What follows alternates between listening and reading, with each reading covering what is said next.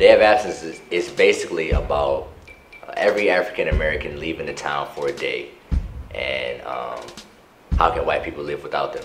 They just go crazy. They don't know what to do without us.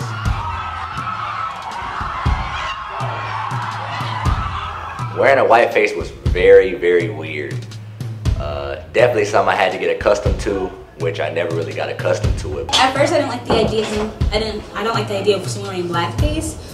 But then once I really started to understand the story and get to know the characters and the meaning behind it, I got more warmed up to it. I guess. It was very interesting because you know, back in the day, whites used to wear blackface, and it's like us transitioning into a white face. It's just pretty weird. It's something I have to get used to if I play it again.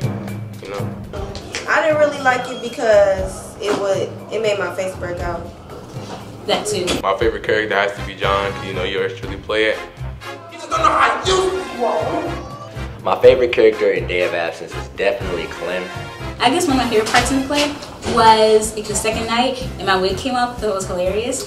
To me, Day of Absence meant um, a time that we really shouldn't forget as a people because there was a time, and there still is a time where we are oppressed and we are called a lot of negative terms and derogatory things. Because we are currently awaiting the payoff of a five-point super recovery program. That runs either a bonanza of egress before sundown.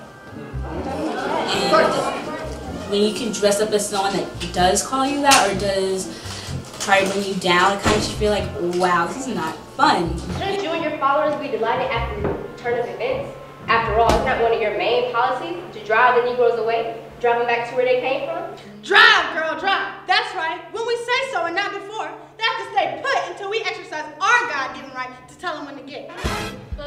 working with the other actors is great. Uh, I love working with that group. Um, those my guys. I love those dudes.